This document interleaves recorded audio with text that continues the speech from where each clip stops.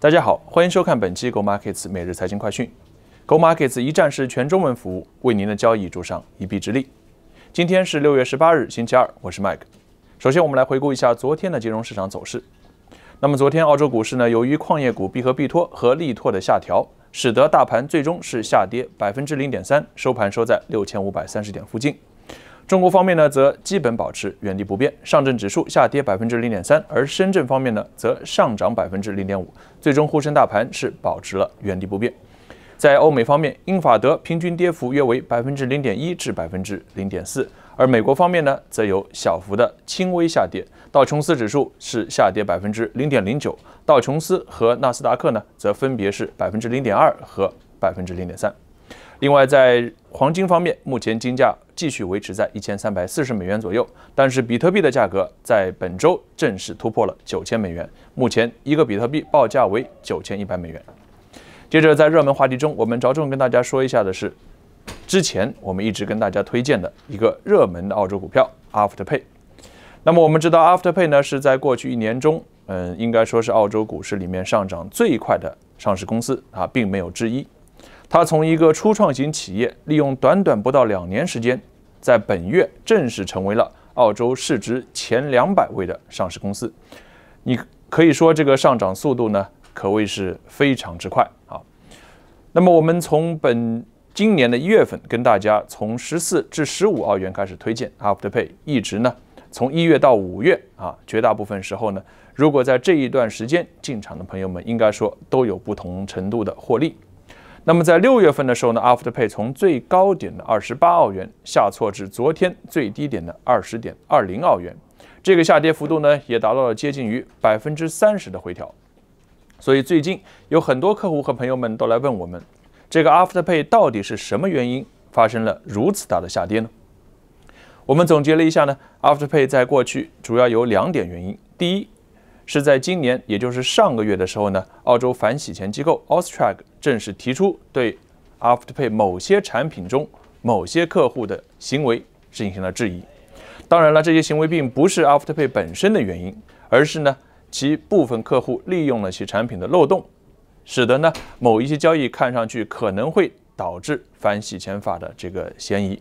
但是呢，Afterpay 本身的公司并没有参与到其中，这是第一。第二点呢。为了企业的发展，Afterpay 在今这个本月月初正式宣布呢，将会融资三亿澳元，以每股二十三澳元的价格对外融资啊。那么这个消息一公布之后呢，在当时的股价是二十七澳元，因此当天就开始下挫，一直呢到昨天跌至了二十点二零澳元。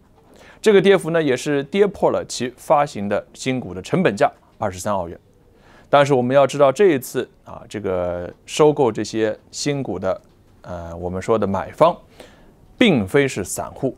而是非常有实力的机构客户和这个我们叫做大型的企业基金。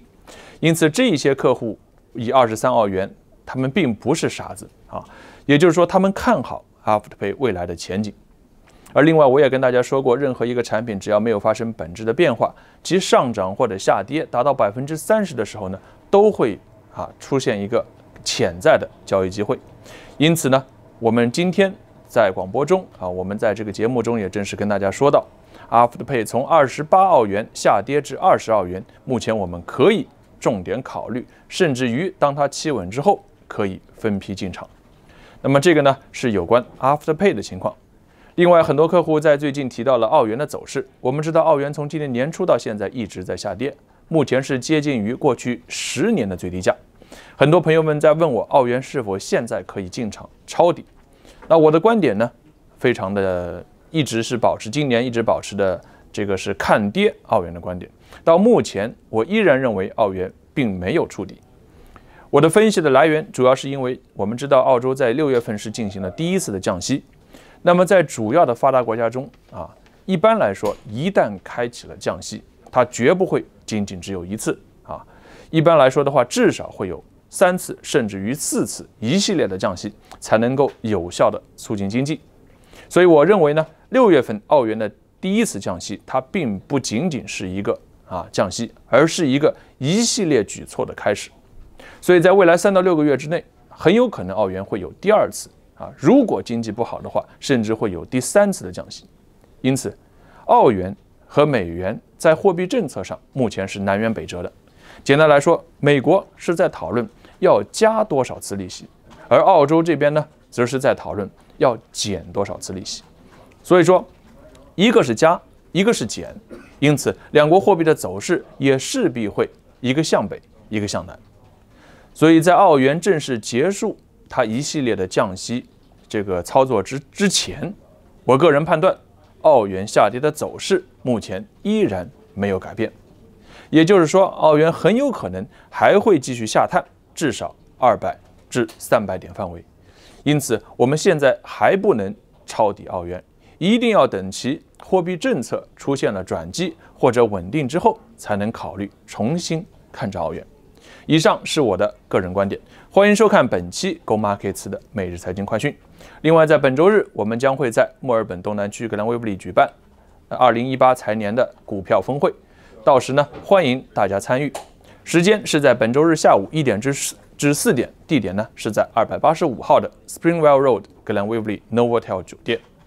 感谢您的收看，我们下期节目再见。